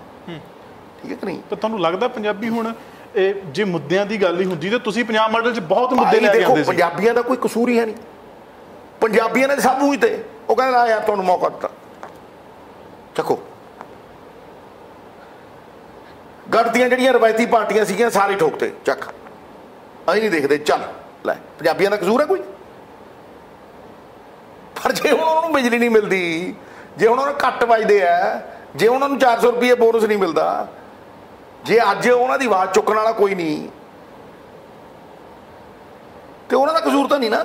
ਪਰ ਉਹਨਾਂ ਦੀ ਆਵਾਜ਼ ਤੇ ਹੁਣ ਵਿਰੋਧੀ ਧਿਰ ਚੱਕੂਗੀ ਨਾ ਭਾਈ ਜੇ ਮੌਜੂਦਾ ਸਰਕਾਰ ਨਹੀਂ ਕਰ ਰਹੀ। ਦੇਖੋ ਵਿਰੋਧੀ ਧਿਰ ਪਰ ਪਿੱਛੇ ਜੋ। ਕਾਂਗਰਸ ਹਟੀ ਅੰਦਰ। ਜੀ। ਵਿਰੋਧੀ ਧਿਰ ਪਿੱਛੇ ਹਟੀ ਹੈ। ਨਹੀਂ, ਮੈਂ ਜਿੱਥੇ ਨਹੀਂ ਕਹਿੰਦਾ- ਜਿੱਥੇ ਮਰਡਰ ਹੋਇਆ ਜਿੱਥੇ ਜਿੱਥੇ ਲਾਅ ਐਂਡ ਆਰਡਰ ਵਿਗੜਿਆ ਆਵਾਜ਼ ਚੁੱਕੀ। ਜਿਹੜਾ ਮੁੱਦਾ ਟਾਈਮ ਹਲੇ ਘੱਟ ਹੈ ਟਾਈਮ ਹਮੇਸ਼ਾ ਮੈਂ ਕਹਿੰਦਾ ਦਿਓ। ਨਹੀਂ ਨਵਜੋਤ ਸਿੰਘ ਸਿੱਧੂ ਤੇ ਉੱਥੇ ਬਿਲਕੁਲ ਪਹੁੰਚੇ ਨੇ। ਪਰ ਮੈਂ ਸਮੂਹ ਕਾਂਗਰਸ ਦੀ ਗੱਲ ਕਰਦਾ। ਸਮੂਹ ਕਾਂਗਰਸ ਕਿੱਥੇ ਨਹੀਂ ਆਵਾਜ਼ ਚੁੱਕਦੀ? ਦੱਸੋ ਕਿੱਥੇ ਨਹੀਂ ਚੱਕੀ? ਅਜੇ ਮਹੀਨਾ ਹੋਇਆ ਤੁਸੀਂ ਦੱਸੋ ਕਿੱਥੇ ਨਹੀਂ ਚੱਕੀ? ਸਾਰੀ ਕਾਂਗਰਸ ਤੁਸੀਂ ਕੋਈ ਦੇਖ ਲਓ ਚਲੋ। ਠੀਕ ਹੈ? ਗੁਰਦਾਸਪੁਰ ਦੇਖ ਲਓ ਹਰ ਜਗ੍ਹਾ ਦੇਖ ਲਓ। ਮੈਂ ਕਹਿੰਦਾ ਸਾਰੇ ਇਕੱਠੇ ਹੋ ਕੇ ਆਵਾਜ਼ ਚੁੱਕਦੇ? ਪ੍ਰੈਜ਼ੀਡੈਂਟ ਦੀ ਆਵਾਜ਼ ਆਉਂਦੀ ਹੈ ਦੂਸਰਿਆਂ ਦੀ ਆਵਾਜ਼ ਆਉਂਦੀ ਹੈ ਹਰੇਕ ਦੀ ਆਵਾਜ਼ ਆਉਂਦੀ। ਦੱਸੋ ਕਿੱਥੇ ਨਹੀਂ ਆਵਾਜ਼ ਆਉਂਦੀ? ਵਿਰੋਧੀ ਧਿਰ ਇੱਕ ਵਾਚਡੌਗ ਬਣ ਕੇ, ਪਹਿਰੇਦਾਰ ਬਣ ਕੇ ਮੁੱਦਿਆਂ ਦੀ ਪਹਿਰੇਦਾਰੀ ਕਰੂਗੀ। ਅਸੀਂ ਕਰ ਰਹੇ ਹਾਂ। ਹਿੱਲਣ ਨਹੀਂ ਦਿੰਦੇ। ਸਿੱਧੂ ਸਾਹਿਬ, ਇਹ ਤੇ ਹੁਣ ਆ ਗਈ ਕਣਕ ਵਾਲੇ ਮਸਲੇ ਦੇ ਉੱਤੇ, ਜੋ ਇਸ ਤੋਂ ਇੰਪੋਰਟੈਂਟ ਅੱਜ ਪੰਜਾਬ ਦੇ ਵਿੱਚ ਇਸ਼ੂ ਕੋਈ ਨਹੀਂ। ਪਰ ਬੜੀਆਂ ਚੀਜ਼ਾਂ ਨੇ ਜਿਹੜੀਆਂ ਆਉਣ ਵਾਲੇ ਸਮੇਂ ਦੇ ਵਿੱਚ ਵੀ ਮੂਹਰੇ ਆਉਣਗੀਆਂ। ਅੱਜ ਅਸੀਂ ਬਿਲਕੁਲ ਉਹਨਾਂ ਚੀਜ਼ਾਂ ਤੇ ਨੁਕਤਾਚੀਨੀ ਨਹੀਂ ਕਰਨਾ ਚਾਹੁੰਦੇ, ਕਿਉਂਕਿ ਜੇ ਸਿਰਫ ਇੱਕ ਮਹੀਨਾ ਹੋਇਆ ਸਰਕਾਰ ਨੂੰ ਆਇਆ। ਸਰਕਾਰ ਦੇ ਬਹੁਤ ਸਾਰੇ ਵਾਅਦੇ ਨੇ, ਉਹਨਾਂ ਉੱਤੇ ਤੁਹਾਡੇ ਨਾਲ ਸਮੇਂ-ਸਮੇਂ ਦੇ ਉੱਤੇ ਗੱਲਬਾਤ ਜ਼ਰੂਰ ਕਰਾਂਗੇ। ਕਣਕ ਵਾਲੇ ਮੁੱਦੇ ਦੇ ਉੱਤੇ ਹੁਣ ਸਰਕਾਰ ਨੂੰ ਆਉਣ ਵਾਲੇ ਦਿਨਾਂ ਵਿੱਚ ਕਿਵੇਂ ਘੇਰਨਾ? ਨੋ ਡਾਊਟ ਚੈਨਲਸ ਨੇ ਆਪਣਾ ਰੋਲ ਅਦਾ ਕਰਨਾ, ਪਰ ਪੰਜਾਬ ਕਾਂਗਰਸ ਨੇ ਕਿਵੇਂ ਘੇਰਨਾ? ਉਹਦੀਆਂ ਪਾਲਿਸੀਜ਼ ਕਿਉਂਕਿ ਇਹ ਹਫ਼ਤੇ ਬਾਅਦ ਚੀਜ਼ ਹੱਥ ਨਹੀਂ ਆਉਣੀ। ਸਿਰਫ ਆਹ ਹਫਤਾ ਆ ਜਦੋਂ ਮੰਡੀਆਂ ਦੇ ਵਿੱਚ ਕਿਸਾਨਾਂ ਨੇ ਜਾਣਾ ਆ। ਉਸ ਤੋਂ ਬਾਅਦ ਜੋ ਮਰਜ਼ੀ ਹੋ ਜੇ। ਦੇਖੋ ਤੁਹਾਡੀ ਸੰਤੁਸ਼ਟੀ ਤੇ ਘੇਰਨ ਦੇ ਲਈ ਤੁਹਾਨੂੰ ਫੈਕਚੁਅਲੀ ਅਵੇਅਰ ਹੋਣਾ ਪੈਣਾ। ਤੁਹਾਨੂੰ ਇੱਕ ਇੱਕ ਜਾਣਕਾਰੀ ਹਾਸਲ ਕਰਨੀ ਪੈਣੀ ਹੈ ਔਰ ਤੁਹਾਨੂੰ ਇਹ ਸਮਝਣਾ ਚਾਹੀਦਾ ਹੈ ਕਿ ਮੈਂ ਕਹਿਣਾ ਕੀ ਹੈ। ਫਸਲ ਚੁੱਕੀ ਜਾਣੀ ਸਰਕਾਰ ਦੀ ਮਜਬੂਰੀ ਹੈ ਕਿਉਂਕਿ ਵੀਟ ਹੈ ਹੀ ਨਹੀਂ। ਕਣਕ ਹੈ ਹੀ ਨਹੀਂ ਇੰਟਰਨੈਸ਼ਨਲ ਮਾਰਕੀਟ 'ਚ। ਜਦੋਂ 30 35% ਕਣਕ ਘਟੀ ਹੋਈ ਹੈ, ਕਣਕ ਤੇ ਉਹਨਾਂ ਨੇ ਚੁੱਕਣੀ ਹੈ। ਲੇਕਿਨ ਸਰਕਾਰ ਜਿੰਸਾਂ ਦੀ ਜਿਹੜੀ ਕੀਮਤ ਹੈ ਐਮਐਸਪੀ ਹੈ ਐਮਐਸਪੀ ਦੇ ਉੱਤੇ ਬੋਨਸ ਦੇਵੇ 400 500 ਮੁੱਦਾ ਇਹ ਹੈ, ਕਿਉਂਕਿ ਤੁਸੀਂ 3500 ਰੁਪਏ ਹਾਸਲ ਕਰ ਰਹੇ ਹੋ, ਉਹਦੇ 2000 ਦੀ ਕਣਕ ਤੋਂ। ਪਿਛਲੀ ਵਾਰ ਰੇਟ 2200 ਰੁਪਏ ਸੀ ਇੰਟਰਨੈਸ਼ਨਲ ਮਾਰਕੀਟ 'ਚ। ਅੱਜ 3500 ਹੈ। ਮਤਲਬ 1300 ਰੁਪਏ ਵੱਧ ਗਈ ਹੈ। ਤੇ ਜੇ 1300 ਰੁਪਏ ਵੱਧ ਗਈ ਹੈ, ਉਹਨੂੰ 300 400 ਤੇ ਦਿਓ। ਮੁੱਦਾ ਇੰਨਾ ਕੀ ਹੈ? ਵੀ ਭਾਈ, ਜੇ ਤੁਸੀਂ ਮੁਨਾਫਾ ਕਮਾ ਰਹੇ ਹੋ, ਤੇ ਫਿਰ ਉਹ ਉਹਨੂੰ ਕਿਉਂ ਨਹੀਂ?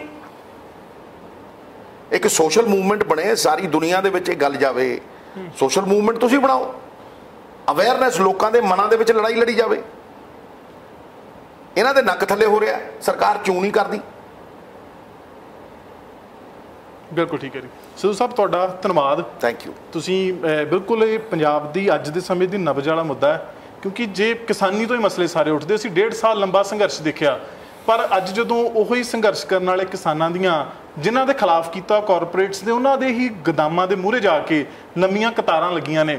ਇਹਦੇ ਵਿੱਚ ਜ਼ਿੰਮੇਵਾਰ ਤੇ ਫਿਰ ਅਸੀਂ ਸਾਰੇ ਹੀ ਆ ਜਾਂਦੇ ਨਾ ਕਿਤੇ ਨਾ ਨਹੀਂ ਉਹਦੀ ਮਜਬੂਰੀ ਹੈ ਭਾਈ ਮੇਰੇ ਛੋਟੇ ਵੀਰ ਜਦੋਂ ਉਹਦੇ ਕੋਲ ਸਟੋਰੇਜ ਹੀ ਹੈ ਨਹੀਂ ਮੈਂ ਕੀ ਕਹਿੰਦਾ ਸੀ? ਸਟੋਰੇਜ ਦਿਓ ਕੋਆਪਰੇਟਿਵ ਬਣਾਓ ਕਿਸਾਨ ਇਕੱਠੇ ਕਰੋ ਜਿਹੜਾ ਐਕਟ ਹੈ ਕੋਆਪਰੇਟਿਵ ਐਕਟ ਉਹਨੂੰ ਬਦਲੋ ਡਾਈਵਰਸਿਫਿਕੇਸ਼ਨ ਕਰੋ। ਤੁਸੀਂ ਝੋਨਾ ਉਗਾਈ ਤੁਰੀ ਜਾਂਦੇ ਹੋ ਸਾਰਾ ਪਾਣੀ ਟਿਊਬਵੈਲ ਦੇ ਕਰਜ਼ੇ ਲੈ ਲੈ ਕੇ ਟਿਊਬਵੈਲ ਲਾਈ ਤੁਰੀ ਜਾਂਦੇ ਹੋ ਪਾਣੀ ਕੱਢੀ ਜਾਂਦੇ ਹੋ ਤੁਸੀਂ ਨਹਿਰੀ ਪਾਣੀ ਦਿਓ। ਨਹਿਰੀ ਪਾਣੀ ਤਾਂ ਕਿਤੇ ਹੋਰ ਭੇਜਣ ਦੀ ਤਿਆਰੀ ਹੈ। ਤੁਸੀਂ ਉਹ ਨਹਿਰਾਂ ਦਾ ਪਾਣੀ ਟੇਲ ਤੱਕ ਜਾਂਦਾ ਸੀ ਐਂਡ ਤੱਕ ਜਾਂਦਾ ਹੁੰਦਾ ਸੀ। ਜਦੋਂ ਮੈਂ ਆਪਦੇ ਦੋ ਆਪਦੇ ਦੋਸਤ ਦੇ ਫਾਦਰ ਦੇ ਨਾਲ ਚੀਫ ਇੰਜੀਨੀਅਰ ਹੁੰਦੇ ਸੀ ਉਹ ਸਰਦਾਰ ਭਗਤ ਸਿੰਘ ਸਿੱਧੂ ਉਹਨਾਂ ਨਾਲ ਗੱਡੀ ਜਾਂਦਾ ਉਹਨਾਂ ਟੇਲ ਦੇ ਐਂਡ ਤੱਕ ਪਾਣੀ ਜਾਂਦਾ ਹੁੰਦਾ ਸੀ। ਅੱਜ ਮੋਗੇ ਬੰਦ ਕਬਜ਼ੇ ਕੀਤੇ ਹੋਏ ਨੇ ਕਿਤੇ ਪਾਣੀ ਜਾਂਦਾ ਹੀ ਨਹੀਂ ਨਹਿਰੀ। ਦੇ ਟਿਊਬਵੈਲ ਤੇ ਟਿਊਬਵੈਲ ਦੇ ਟਿਊਬਵੈਲ ਤੇ ਟਿਊਬਵੈਲ। ਅਗਲਾ ਬਿਜਲੀ ਲਾਉਂਦਾ ਕੁੰਡੀ ਲਾਉਂਦਾ ਟੱਕ ਹੋ ਗਈ। ਪਰ ਤੇ ਪਿਛਲੇ ਕਈ ਸਾਲਾਂ ਤੋਂ ਚੱਲਦਾ ਹੁੰਦਾ ਨਹੀਂ ਫਿਰ ਜੇ ਚੱਲਦਾ ਆ ਰਿਹਾ ਇਹਨੂੰ ਰੋਕਣਾ ਪਊ ਨਹੀਂ ਤੇ ਭਾਈ ਜ਼ਮੀਨਾਂ ਬੰਜਰ ਹੋ ਜਾਣਗੀਆਂ ਪੈਸੇ ਦਿੱਤੇ ਹੀ ਨਹੀਂ ਜਾਣੇ। ਕਰਜ਼ਾਈ ਪੰਜਾਬ ਉੱਠੂ ਕਿਵੇਂ? ਭਾਈ ਉੱਠ ਤਾਂ ਹੀ ਸਕਦਾ ਨਾ ਜੇ ਤੁਸੀਂ ਇਹ ਪੀਪੀਏ ਜਿਹੜੇ ਨੇ ਇਹਨਾਂ ਨੂੰ ਖਤਮ ਕਰੋਗੇ ਸਮਾਰਟ ਪੀਪੀਏ ਲੈ ਕੇ ਆਓਗੇ ਤੁਸੀਂ ਜਿਹੜੀ ਨਵੀਂ ਟੈਕਨੋਲੋਜੀ ਹੈ ਸੂਰਜ ਦੀ ਊਰਜਾ ਉਹਦੇ ਨਾਲ ਤੁਸੀਂ ਟਿਊਬਲ ਚਲਾਓਗੇ। ਗੱਲ ਨੂੰ ਸਮਝੋ ਕਿ ਉਹ ਹਰ ਸਾਲ 15 ਤੋਂ 20% ਘਟਦੀ ਹੈ। ਤੁਸੀਂ ਬੈਲਗਾੜੀ ਦੇ ਉੱਤੇ ਸਵਾਰ ਹੋ ਕੇ ਤਾਂ ਨਹੀਂ ਮਰਸੀਡੀਜ਼ ਨੂੰ ਫੜ ਸਕਦੇ ਬਦਲਦੇ ਵਕਤ ਨਾਲ ਤੁਹਾਨੂੰ ਬਦਲਣਾ ਪਊਗਾ you will have to reinvent ਤੁਹਾਨੂੰ ਰੀਇਨਵੈਂਸ਼ਨ ਕਰਨੀ ਪਊਗੀ ਭਾਈ। ਕ੍ਰਿਕਟ ਪਹਿਲਾਂ ਅਸੀਂ 5 ਦਿਨਾਂ ਦੀ ਖੇਡਦੇ ਹੁੰਦੇ ਸੀ 5 ਦਿਨ ਇੱਕ ਇਨਿੰਗ ਕੰਪਲੀਟ ਨਹੀਂ ਸੀ ਹੁੰਦੀ ਹੁੰਦੀ 5 ਦਿਨਾਂ ਤੋਂ ਫਿਰ ਭਾਈ 50 ਓਵਰਾਂ ਤੇ ਆ ਗਈ ਹੁਣ 20 ਓਵਰ ਮੈਚ ਹੁੰਦਾ। ਰੰਗੀਨ ਕੱਪੜੇ ਰਾਤ ਨੂੰ ਹੁੰਦਾ 3 ਘੰਟਿਆਂ ਦੀ ਕ੍ਰਿਕਟ ਹੋ ਗਈ। ਵਕਤ ਦੇ ਨਾਲ ਬਦਲਣਾ ਪਊ ਰੀਇਨਵੈਂਟ ਕਰਨਾ ਪਊ। ਸਰਕਾਰਾਂ ਨੂੰ ਨੀਤੀਆਂ ਦੁਆਰੇ ਬਜਟਰੀ ਐਲੋਕੇਸ਼ਨਸ ਦੇ ਦੁਆਰਾ ਸਰਕਾਰਾਂ ਨੂੰ ਪੰਜਾਬ ਦੇ ਲੋਕਾਂ ਨੂੰ ਉਹਨਾਂ ਦੇ ਦਿੱਤੇ ਟੈਕਸਾਂ ਦੇ ਪੈਸੇ ਦੀ ਤਾਕਤ ਵਾਪਸ ਭੇਜਣੀ ਪਊ। ਇਹੀ ਸੰਵਿਧਾਨ ਕਹਿੰਦਾ ਸੰਵਿਧਾਨ ਦੀ ਪਹਿਰੇਦਾਰੀ ਕਰਾਂਗੇ। ਇਹੀ ਸਾਡੀ ਬਾਈਬਲ ਹੈ।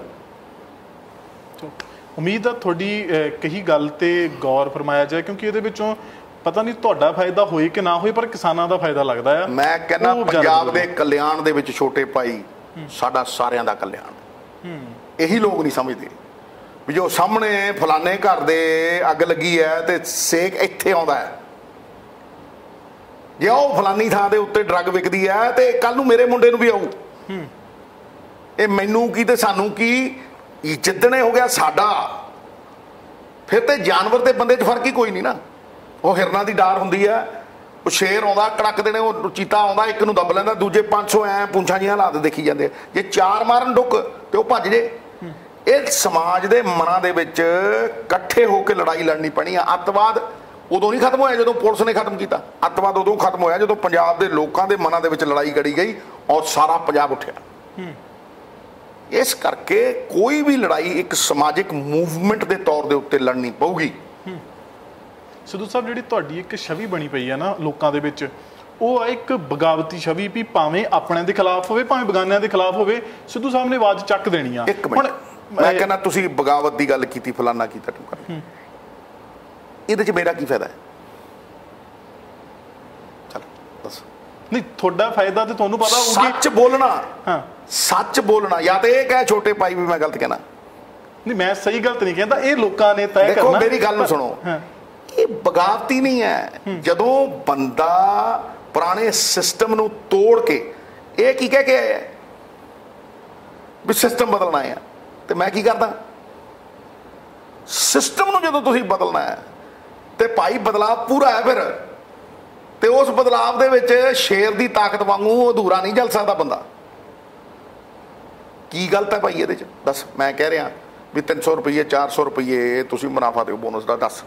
ਇਹ ਚ ਕਿਹੜੀ ਬਗਾਵਤ ਇਹਦੇ 'ਚ ਤੇ ਕੋਈ ਗਲਤ ਗੱਲ ਨਹੀਂ। ਫਿਰ ਤੇਰੇ ਸ਼ਬਦਾਂ ਦੇ ਵਿੱਚ ਤੇਰਾ ਕਰੈਕਸ਼ਨ ਹੋ ਗਿਆ।